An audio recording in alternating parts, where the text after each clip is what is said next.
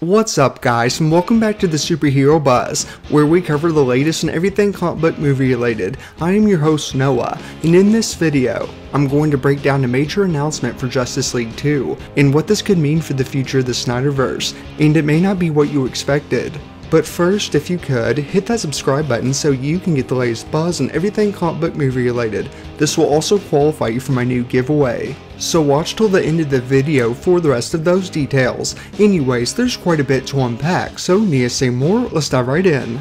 First off, I just watched the Snyder Cut, and I thought it was a lot better than the original but it left me wanting more, and today we can maybe take that a step further. According to our good friend of the channel Mikey Sutton, there might be some hope for Justice League 2, and it could even be released in theaters. And in his exact words, with the Snyder Cut exploding on HBO Max, Warner Bros. is now considering Justice League 2 for theatrical release. In late February, I reported how they wanted Zack Snyder to produce his own DC Pocketverse, leaving no possibility for the sequel to hit theaters, only for HBO Max, so if Justice League 2 was greenlit, it would only be on the streaming service, but considering the recent success of the Snyder Cut, they might be having a change of heart.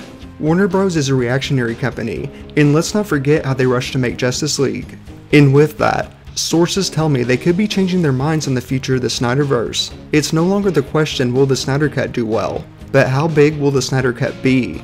The situation is now fluid, there's no doubt Zack will be invited back for future projects, but will Justice League 2 only be for HBO Max or possibly hit theaters? I guess only time will tell. But having said that, what are your thoughts on the Snyder Cut? And would you like to see Justice League 2? Sound off with your thoughts down below. Now let's get into the giveaway details. I'll be giving away the first exclusive Superhero Buzz t-shirt, and all you have to do is give this video a thumbs up, leave a comment, and subscribe.